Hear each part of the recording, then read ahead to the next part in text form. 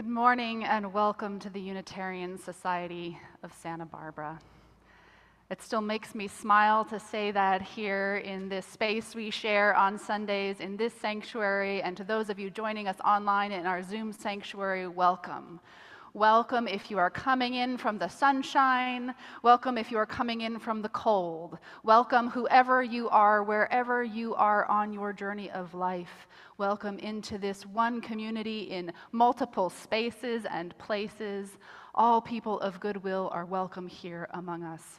I'm the Reverend Julia Hamilton, and I'm joined this morning by our worship associate Ellen Brody, by Matthew Grissett, our music director, and our singers from the music ministry, and Heather Levin on the piano, and Stephanie, our Zoom host, for those of you who are joining us online, and of course, joined by all of you all of you who have taken the time to be here and nourish your spirit this morning. It is good to be together in all the ways that we gather. I'd like to extend a special welcome to any visitors we have joining us this morning. We would love to get to know you and help you get to know us. Uh, if you are joining us online, you can sign our online guest book. If you're here in person, you can stop by the welcome table after the service, ask any questions you'd like. And we are going to be having a starting point class for new members in January. So if you are new to the congregation and want to get to know other new folks, um, keep an eye out. There'll be more information and a chance to sign up for that class in January. And we will also be celebrating in January the new members that have joined our congregation over this time when we've been navigating uh, our pandemic distance. We have lots going on here at the Unitarian Society beyond Sunday mornings, and I want to highlight a couple of things. Today, we have our holiday craft fair setting up in the garden outside. Our kids and families are going to be participating during the service, but after the service, all are welcome to join in. So make something special for someone special. Try your hand at a little craftiness, get a little holiday spirit. And if you're here in Santa Barbara and joining us online and want to zip on over and join us afterward in the courtyard outside for some craftiness, you're most welcome to do so.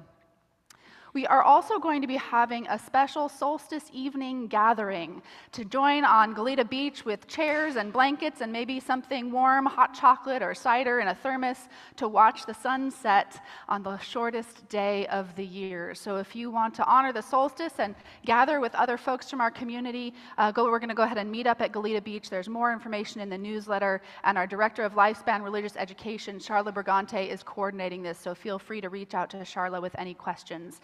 But we're going to take advantage of those beautiful winter sunsets that we get here in Santa Barbara to honor the turning of the season. With all that is going on in our community, all that is going on in your lives, and all that is going on in the world, let us take a moment. Take a moment to arrive, to set aside whatever busyness, whatever holiday to do lists and plans that are waiting for you out in the world, and allow yourself to be here to be present in this space, in this community, as we begin our time of worship together and let the sound of our bell connect us.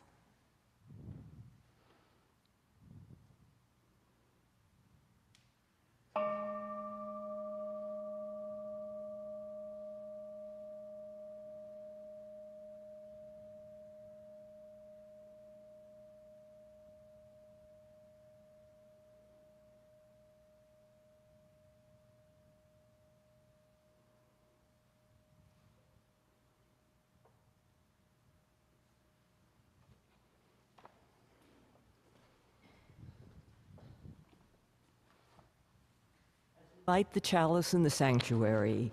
If you have a chalice or candle to light, please do so and enter into the chat or the comments chalice is lit on and the name of your street or town.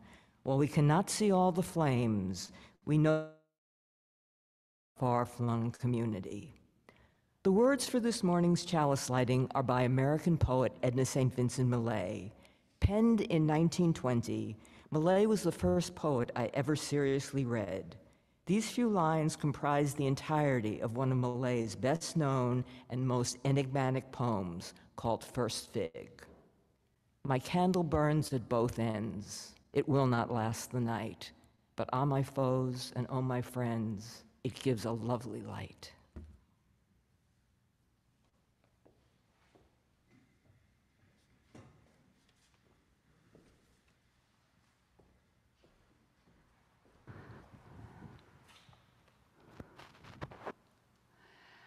Every week here at the Unitarian Society, we make contributions to what we call our love and justice jar, sort of this imaginary container that holds acts of love and kindness, acts that move our world to the, towards the beloved community to which we aspire, places where we see more justice come into being among us. So if you've seen someone this week do something that you thought brought more love and justice into the world, bring it to mind now. Add, add it into the chat if you're joining us online online, think about some place where you have seen someone, either large ways or small ways, bring more love and justice into being. And for our collective contribution to our love and justice jar this morning, I would like to lift up the folks at Jackson's Women's Health Organization. This is, of course, the clinic in Mississippi, the last and only place that is providing abortion services in Mississippi, that is the plaintiff in the case that heard oral arguments before the Supreme Court this week. I was glad to see some of you turn up at the rally on Wednesday, where we lifted up the need to continue to fight for reproductive justice and access to abortions for all who need them. This is an ongoing uh, fight we're engaged in, folks, and Unitarian Universalism has been part of this struggle for decades. And so I lift up in specific those folks who are working at great personal risk often to continue to provide services to those who need it, in particular the folks at Jackson's Women's Health.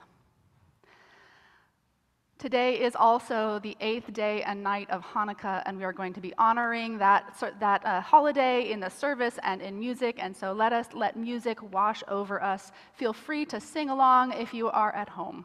Matthew?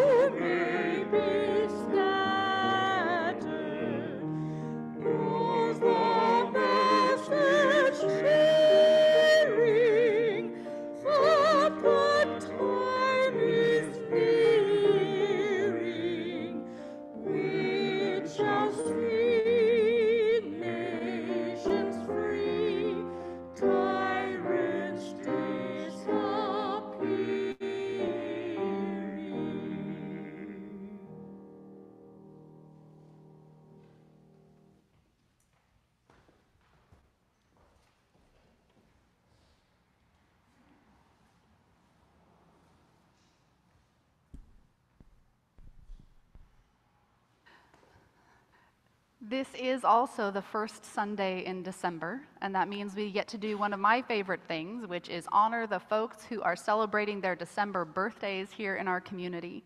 So if you have a December birthday and would like to come on up so we can celebrate you and send some love your way, feel free. If there's anyone here who is celebrating their birthday in December, come on up. Justine. Got a couple of, and if you are celebrating a birthday and you're joining us online and you want to type your name, or if there's somebody else who is celebrating a birthday in your family and you want to recognize them, go ahead and type their name into the chat.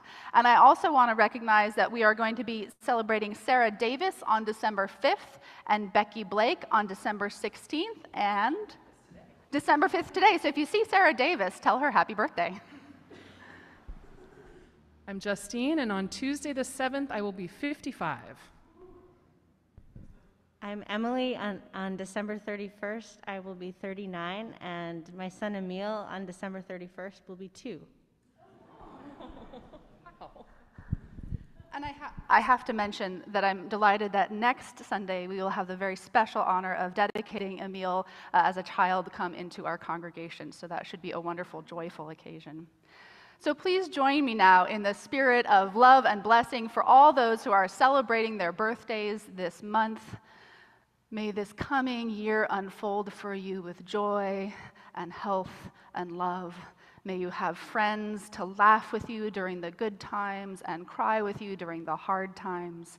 May your spirit open to wonder. May your mind be inspired by the world we live in and share. The world is a richer place because you are in it, and we are so glad that you were born. Happy birthday. You may be seated. Yeah, yeah, that's worth applauding for.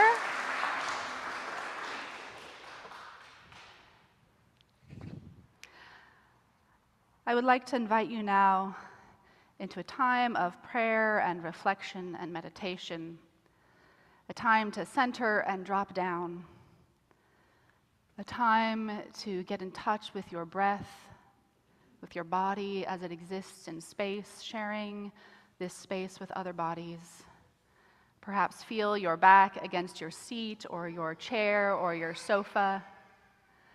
Get in touch with how you're feeling in this moment, laughing or crying or finding a deep calm in community. Wherever you are, however you are, be present to this, to this life that we share. And as we enter into a time of quiet together, call to mind all of those who are in need of support and care, who find themselves in harm's way, seeking safety and refuge. May they find a peaceful place to rest. Call to mind all of those who are suffering with illness or a diagnosis or a long standing struggle with their body and their health. May they find comfort and care and a community to support them. All those who are welcoming joy and new life and new beginnings, bring them to mind too. Call them into your heart, into your space, and congratulate them. Wish them love and happiness. And if you can't extend that circle of compassion out into the whole world. All beings, all people and places, the earth itself. Hold as much as you can in the compassionate space of your heart as we enter into a time of quiet reflection together.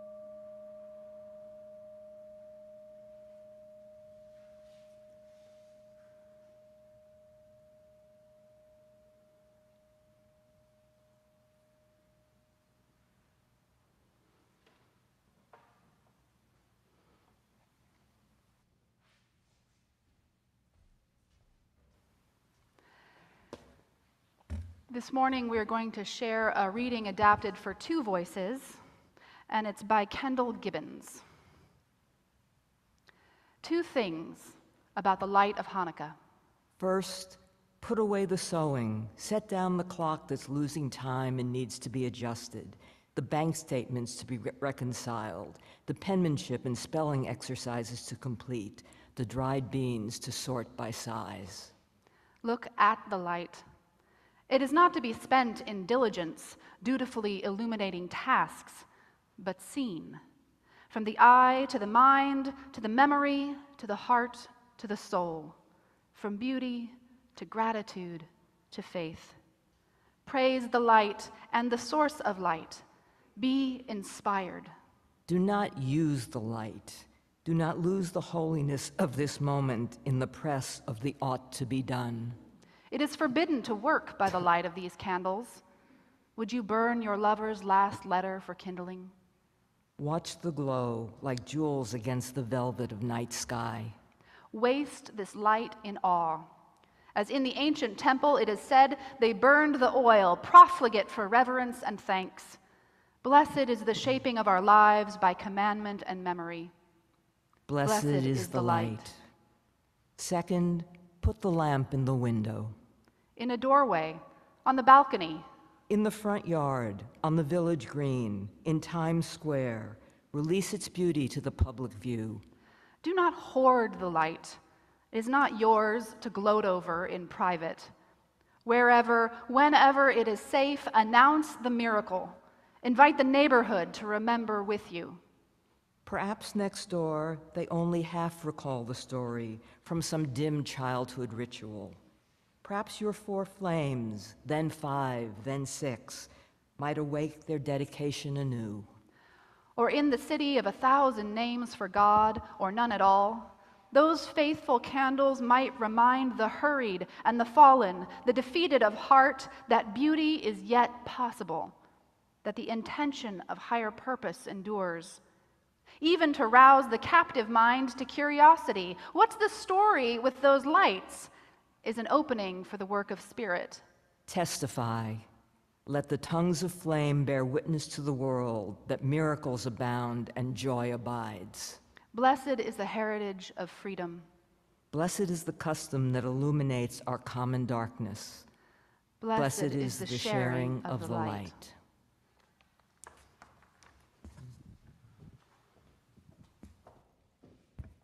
This year, Hanukkah took me by surprise. After almost 76 years on this earth, one might reasonably assume that I was familiar enough with the quirks and eccentricities of the lunar calendar to be prepared for the holiday whenever it might appear. Clearly, I was not. And when I glanced at our solar calendar, my first thought was, how could it possibly be Hanukkah? We're still digesting Thanksgiving dinner. However, the calendar didn't lie. It truly is the season of the Festival of Light.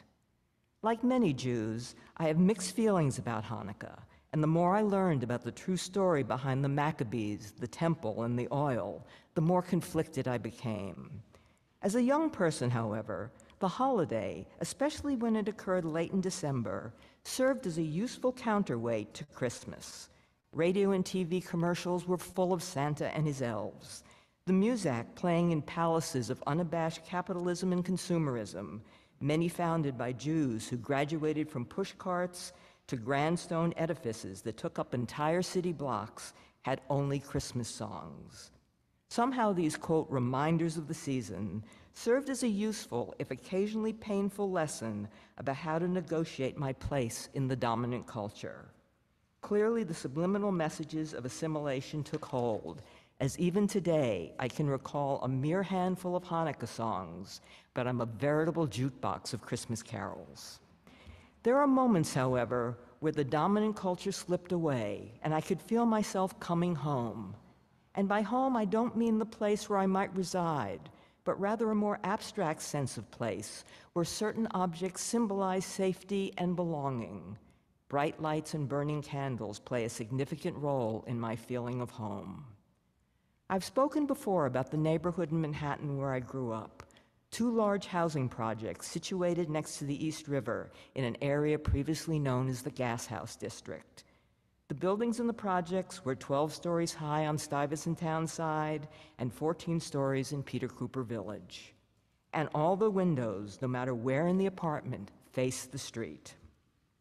One of my sweetest memories, and a memory that repeated year after year, was walking from the bus stop and glancing up at the windows all around me, some with Christmas lights or Christmas trees, but an exceptionally large number aglow with the bright yellow and orange lights of electric and occasionally real candles in window sized menorahs. As the eight days of Hanukkah passed and additional candles were lit, whole buildings seemed to light up. The warm glow from the menorahs even helped me learn to respect and appreciate the green and red and gold that made up the Christmas decorations adorning other apartment windows. But it was the yellow and orange flames of the menorahs that called me home, made me feel part of something larger than myself. I knew very few of the people who personally who lived behind those windows. After all, I was just another latchkey kid in the neighborhood. But I somehow understood that at least during the Festival of Light, this was my community. These were my landsmen. I was born in January 1946. One war had just ended, and our country was but a few short years away from another conflict. In my grandparents' Brooklyn neighborhood, where I spent my earliest years, there were household configurations that puzzled me. Some families were standard issue nuclear mom, dad, assorted children. Others, like mine, were multi generational. But the ones that struck me were those that had been torn asunder by war, the families where the father had gone off to battle and never returned. I learned early on not to ask too many questions of my playmates who came from homes in which the adults consisted of grandparents and only one parent, always a mother. I became aware of these different configurations as I wandered the Brooklyn streets with my grandmother, my first teacher. One of my earliest memories is of walking at dusk with her. Hanukkah was always the best possible time to traverse the neighborhood. In house after house, the lights were ablaze with candles, and as the week wore on, the light became brighter as another candle was lit commemorating each new day of the holiday. The lights in our neighbors' windows represented warmth, community, and belonging. They served as a bulwark against any feeling of alienation I might have harbored during the Christmas season, in much the same fashion they did for the slightly older me I referred to earlier. There was another kind of light that marked the walks of those early years the single, lonely candle burning in a front window. When I asked my grandmother what those candles meant, she gave two answers one informed by her religious tradition, other tailored, others, others tailored for the ears of a young child. Her first response was that the candle in the window was a way to let the world know that this was a house that welcomed the stranger, that anyone could find comfort and solace within its walls.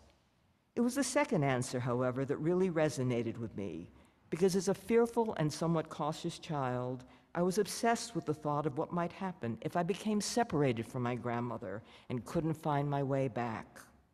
My grandmother explained to me that the candle in the window was a beacon, reaching out to anyone who was adrift in any way, who had wandered too far afield. It was a way of saying, This is still your home. You're safe. Please knock at the door. As I got a bit older and better able to understand the complex and multiple meanings of symbols, my grandmother offered a third and probably more accurate explanation of the solo candle in the window. It was not there to welcome the stranger or draw back the wanderer, but rather to mark a profound loss. There was no stranger to embrace, no wandering soul searching for the light in a special window called home just a candle of memory, letting all know that in this house, the bright flame was sending a message of love and longing and sorrow out into the dark night. The bright light represented the soul of the departed. I've always been drawn to the fact that Hanukkah is called the Festival of Light, reminding us that even in the darkest moments, even when the flame represents loss, sometimes all it takes is lighting one candle to illuminate hope.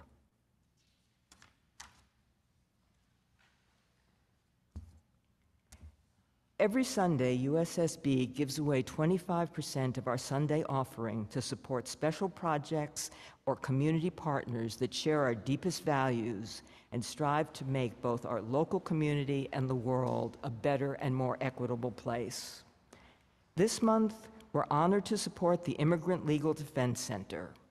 The ILDC is committed to providing equal access to justice and due process to indigent immigrants so that no one should ever face immigration court alone.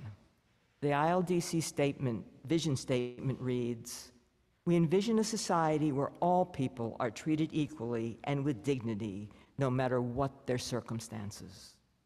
Please give as you're moved and able to to this important community resource. I think the text to give will appear on your screen. And please join with me in saying the affirmation of gratitude and giving. Let us be grateful when we are able to give, for many do not have that privilege. Let us be grateful for those who share our gifts with us, for we are enriched by their giving. Let us be grateful even for our needs, so that we may learn from the generosity of others.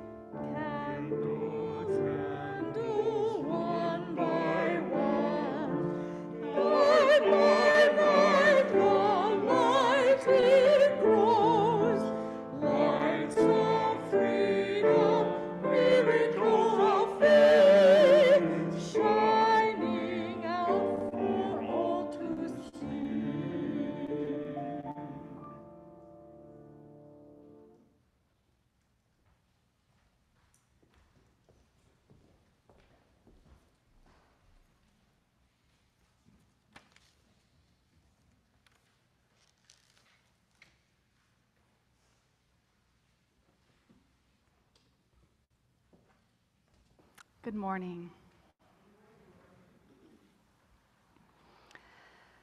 The Rabbi Abraham Joshua Heschel said, Forfeit your sense of awe. Let your conceit diminish your ability to revere, and the universe becomes a marketplace for you. Forfeit your sense of awe, and the universe becomes just a marketplace the majestic, unthinkably large universe, the sum total of all that is and was and all that ever shall be, the creative force of the universe, which is the closest thing to God that I can imagine, if we ever give up on the idea that we must from time to time pause and marvel at all of this, if we ever lose that sense of wonder, then we are reduced to nothing but a transactional life. A small and sad life of task after task, nothing but exchanging time for money. Heschel believed that awe and wonder are categorical imperatives for humanity. That is to say, the desire to experience awe is a compulsion within us, an impulse rooted deep in our humanness that we can never shake and that we ignore at our peril. Religion is in part this practice of the compulsion toward awe in ways large and small, from elaborate ceremonies at grand cathedrals and synagogues to the tiny lights of a menorah sitting on a kitchen table. Religious ritual is one of the most common ways we human beings create containers for that awe and wonder, moments of time and space set aside from daily life, just to be present to the mystery and miracle of it all. Now, I have to say that describing Hanukkah in these terms sometimes feels a little bit overly grand. Theologically, Hanukkah is a minor Jewish holiday. It's not one of the biblically designated holidays like Passover or Yom Kippur or Rosh Hashanah. It was added to the calendar by ancient rabbis, written into the Talmud. It is the celebration of the revolt of the Maccabees, who fought against the Syrian Emperor Antiochus, and after several years of guerrilla fighting from the hills, finally managed to reclaim their temple in Jerusalem around 160 BCE. The eight days of Hanukkah are in honor of the miracle of the oil. As part of the rededication of the temple so that it could be used for worship again, the eternal flame was relit and despite only having a small amount of oil in the reservoir, it lasted for eight days and nights, just long enough to be resupplied. Hanukkah grew in recognition in part, as Ellen mentioned, because of its proximity to Christmas as a way of claiming space for Jewish identity in an overwhelmingly Christian culture. The story appeals to the desire to root for the underdog and overcome against great odds. But in practice, Hanukkah is a family affair, centered in the home like so many Jewish rituals. And especially when compared to major holidays on the Jewish calendar like Passover, it, it kind of moves through the daily family life. In my multi faith household, for example, we celebrate Hanukkah by taking time each evening, usually right before dinner, to light the menorah and say the traditional prayer, and our daughter gets her gift, one for each night. And that's usually about it. One or two nights out of the week, we might do a little more, make latkes or gamble with dreidels and chocolate coins.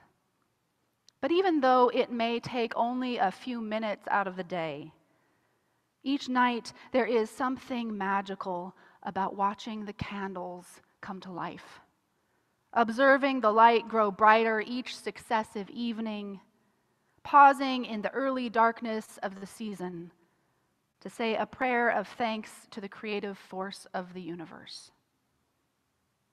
After all, we are celebrating the story of a miracle, however minor that miracle may have been. It's still enough to spark the resonance of the miraculous within us, even if it only lasts for half an hour. Because without those few minutes of candlelit beauty, without pausing to remember that life is more than just getting dinner on the table or getting homework done or getting that last email sent. Without moments like that, life is just a marketplace. While the Hanukkah candles are burning, you are not supposed to do work. The emails and text messages can wait. The cleaning up of the house can wait. The TV can stay silent. And you don't blow out the candles, you just let them burn down. On most nights, especially as the days grow shorter, We are surrounded by all kinds of other lights in our life. We're surrounded by the glow of the computer screen as we finish up that last bit of work. We're surrounded by the fluorescent hum of the lights in retail shops or at the grocery store, the pale gaze of our smartphones flickering to life in a darkened room. These are the lights of the marketplace. They surround us all the time and it's harder and harder to escape their presence. But for a few minutes, for a few nights, usually in December, the candles spring to life and reclaim space and time for something else, something different, something that produces nothing tangible and adds nothing to the gross national product, something sacred. As Kendyl Gibbons said in the reading that we shared, the light is not to be spent in diligence, dutifully illuminating tasks, but to be seen. In this moment, we are there to bear witness to the light and celebrate the creative source to which it is connected. The universe, the warmth of a million suns, the fire at the heart of all things. The universe shines in that half hour of glowing menorah flames, no matter how tiny the candles. It's a big task for a little candle. But fire is elemental, and it makes that leap from the mundane to the sublime with ease. The ancient Greeks had two words for time chronos and kairos. Chronos is the linear sense of time that is the basis of our clocks, our appointments, the workday, and the alarm clock that wakes you up in the morning. It keeps us organized, it keeps the trains on schedule and the planes in the air. Chronos is the time that drives the marketplace, the ringing of our phones, the ringing of the bell of the stock exchange the crush of shoppers waiting for those doors to open on a Black Friday, even the countdown on New Year's Eve. That's chronos, that's an orderly sense of the progression of time. But then there is also kairos. Kairos means the right time or the opportune moment. Kairos is not about a linear progression of events, not about the predictable movement of the sundial or the second hand. Kairos is more of a feeling, a feeling about the rightness of the moment, the alignment of plans, the awareness of something that is more than just the next thing on your shopping list feeling like part of something important, feeling like part of a community. Kairos is what we are talking about when someone says, the time has come, or it's about time. Rabbi Jeffrey Middleman explains it this way. He says, The Greeks had two different words for time, chronos and kairos. Chronos was the quantitative sense of time, it could be measured and dissected, and most importantly, was undifferentiated. Kairos, in, contrast, was the qualitative sense of time. It was psychological, how we felt time. And it reminded us that not every moment was exactly the same. Some moments were more powerful, more important, more holy than others. To phrase it another way, he said, if Chronos is the date of your wedding, Kairos is your wedding day. So time is paradoxical, he says.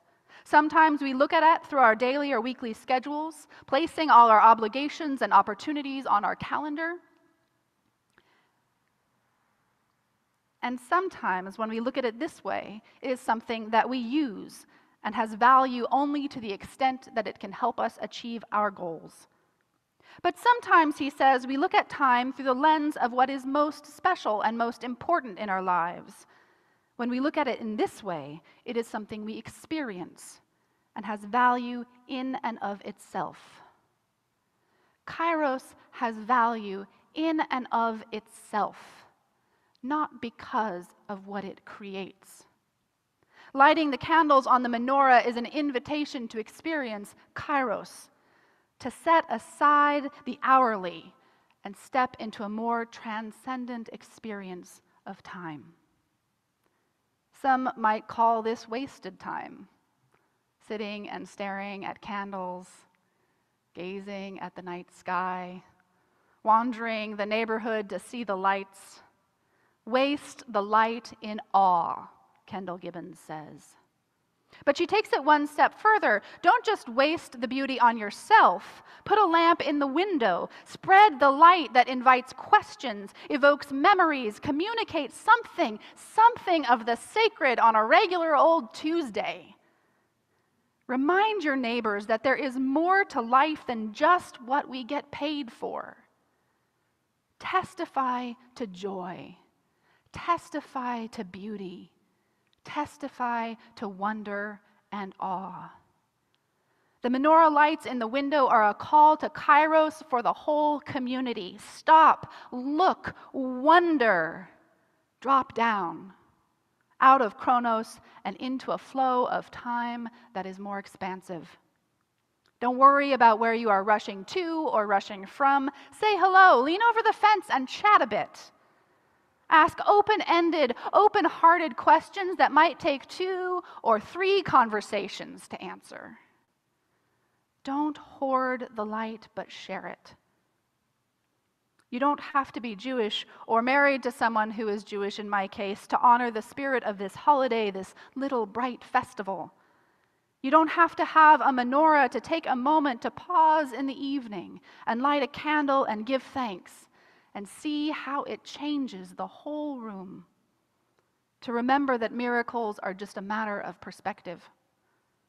Hanukkah is an opportune moment, a kairos moment, an invitation to attend to the kind of joy that can only be shared and given away, never bought or sold.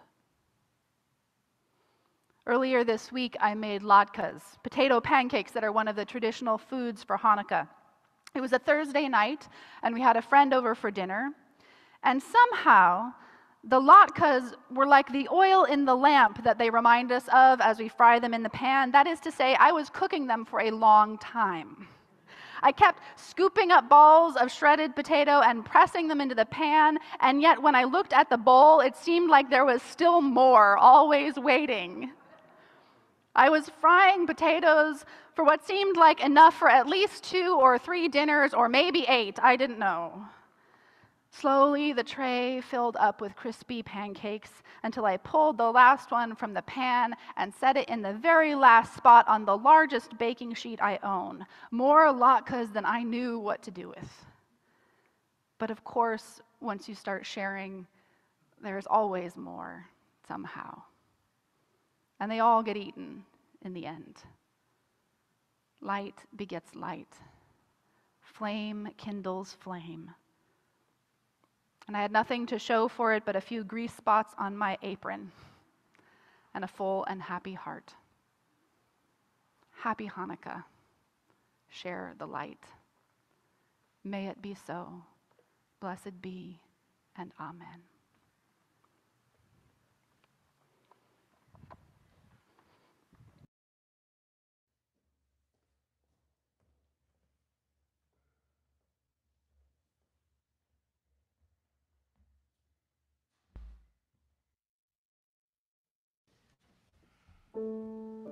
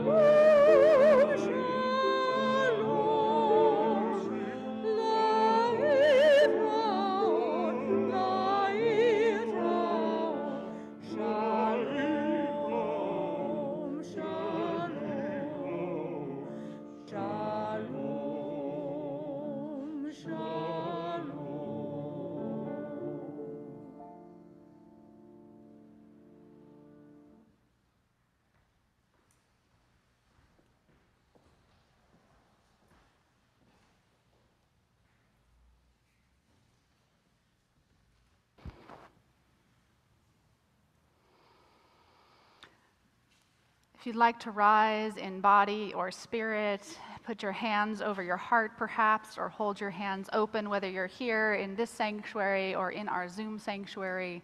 However, it is that you get connected to that sense of larger life that runs through us and among us and beyond us.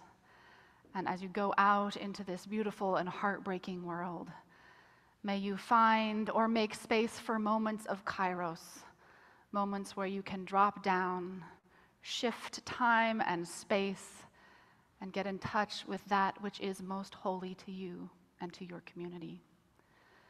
And may the light of love shine upon you, out from within you, be gracious unto you, and bring you peace.